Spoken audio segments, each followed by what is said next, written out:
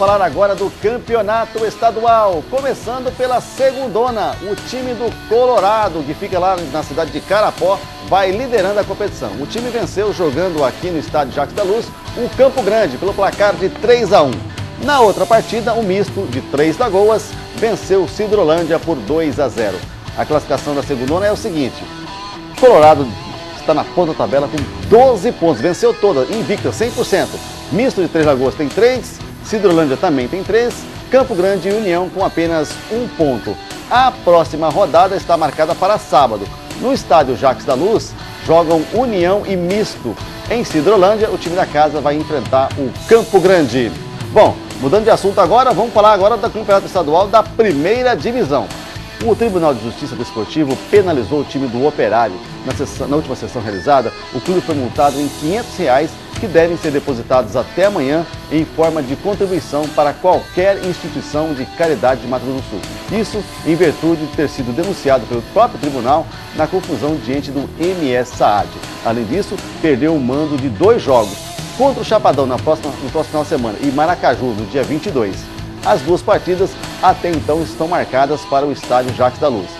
Seguinte, a diretoria do Operário pode até entrar com um efeito suspensivo ainda hoje, como aconteceu, por exemplo, com Itaporã, que conseguiu a liberação do estádio Chavinha, onde um torcedor atirou objeto no gramado, tinha sido penalizado, mas conseguiu esse efeito suspensivo. E aí, o Operário também poderá fazer a, o mesmo procedimento. Vamos estar aguardando aí para dar a rodada completa do Campeonato Sul-Mato-Grossense. E agora, no campo olímpico da Vila Nasser, recebeu nesse final de semana a disputa de um torneio de um esporte não muito divulgado entre os brasileiros. A repórter Adriana Queiroz foi lá, acompanhou e traz todas as informações para nós. Vamos ver. O Campo Grande chegou com toda a força contra o Cuiabá. Passados 30 minutos, o placar já era de 55 a 0 para o time da capital. A gente não esperava um jogo ainda com uma pontuação tão elástica, não está um jogo fácil mas é um jogo, eles estão bem, bem preparados, um pouquinho de inexperiência só, mas está indo melhor do que esperado. Mesmo não conhecendo muito bem o rugby, o público compareceu no Centro Olímpico da Vila Nasser. É bem interessante, bem legal. A gente nunca tinha assistido aqui, né? É, é, diferente do normal, do futebol normal que a gente está acostumado a assistir. Nunca tinha assistido, vim bem perto de casa, é bem legal estar tá vindo aqui poder assistir. Campo Grande foi o vice-campeão da Copa Brasil Central no ano passado. Este ano o time foi reestruturado e o objetivo é garantir a vitória no campeonato. A expectativa desse ano é fazer um campeonato muito mais concentrado. A gente começou a treinar antes fazer um campeonato muito mais tranquilo do que no ano passado. O ano passado a gente tinha um pouquinho de problema de jogadores reservas, suplentes, não tinha um, um coletivo tão forte. Esse ano a gente está bem preparado, a mesma base do ano passado, novas entradas, pessoal que entrou novo. E a gente está muito confiante de fazer um belo campeonato. Mas não é só a classificação para a próxima fase que está em jogo. A disputa é também pelo troféu Pantanal de Rugby.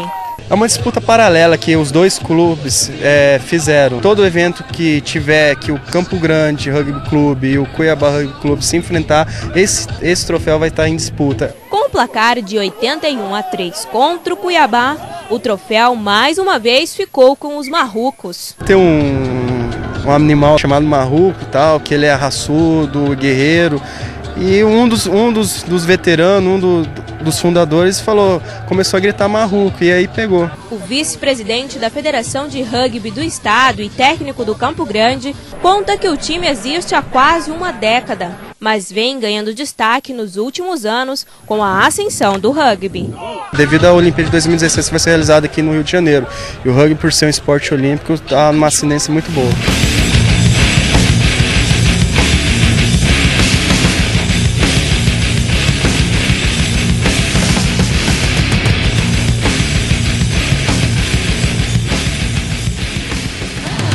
Olha, o próximo jogo da equipe campo-grandense será em Brasília no mês de junho, valendo pelo Campeonato Centro-Oeste.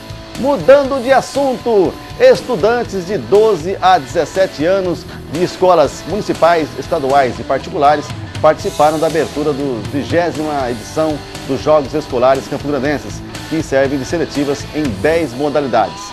A festa do desfile de abertura foi ontem à tarde no ginásio do Colégio Joaquim Murtinho. Veja aí como foi. O evento é organizado pela Fundação Municipal de Esportes e tem como objetivo principal a formação das equipes para representar a capital nos Jogos Escolares e da Juventude. 73 escolas e pouco mais de 1.800 atletas estão na luta por títulos. Eu acho que o estímulo é maior em função de que nós começamos a pensar em Olimpíadas. Quando você começa a pensar em Olimpíadas, em 2016 é no Brasil, nós temos que começar a revelar novos talentos. A pira olímpica foi acesa pelo judoca Vinícius de Souza Faria, atual campeão regional brasileiro na categoria infanto-juvenil e terceiro colocado nos Jogos Pan-Americanos no ano passado. Todos os participantes acompanharam o juramento feito pela atleta da Escola Fausta Garcia, tetracampeã dos Jogos Campograndenses. Na solenidade de abertura dos Jogos, ocorrida no ginásio do Colégio Joaquim Murtinho, atletas e público puderam acompanhar um show especial do grupo douradense Ginás Loucos.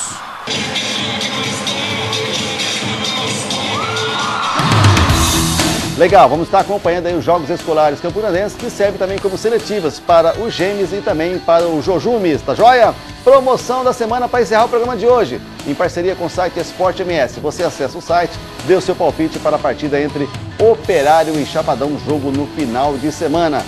Tá certo? Você pode dar quantos palpites quiser, não tem problema. Entre os acertadores, faremos sorteio de um lindo presente, oferecimento da loja Amazonas Calçados e Esportes, que fica ali na rua Amazonas 2722.